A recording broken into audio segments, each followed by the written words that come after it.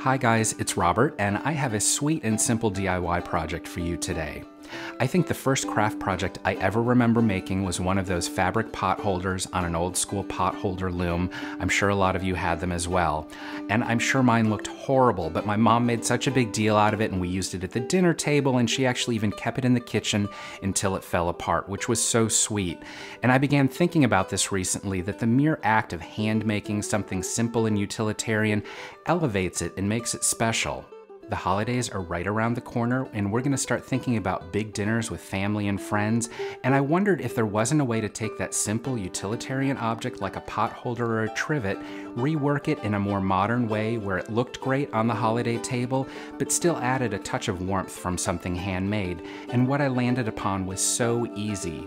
Essentially what I did was take a series of round wooden beads in various sizes alongside felted wool balls and strung them together in almost necklace-like configurations. You'd think something like this would roll around, but honestly, once it's underneath a serving platter, it's perfectly stable. They don't conduct heat, so they do their job and protect the surface of your table from a hot dish.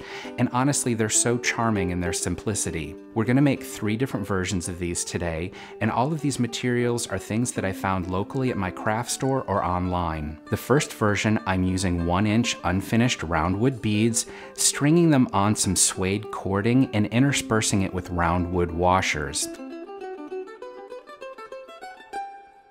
This one is about 7 inches in diameter, although you can make these as large or as small as you'd like.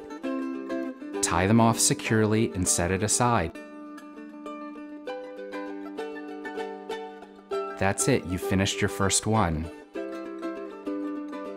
The second one is actually the simplest of the three, and this would be perfect to involve nieces or nephews, or if you have little brothers or sisters, because it's essentially a lacing activity.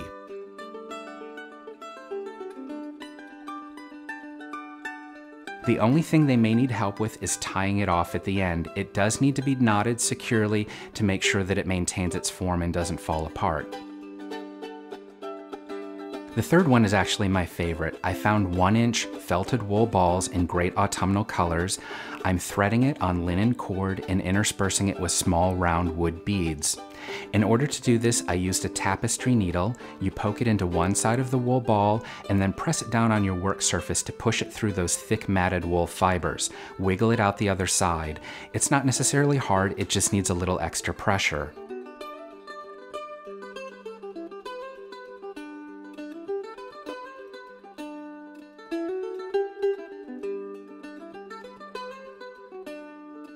This particular trivet is about 5 inches in diameter and use 12 of the wool balls.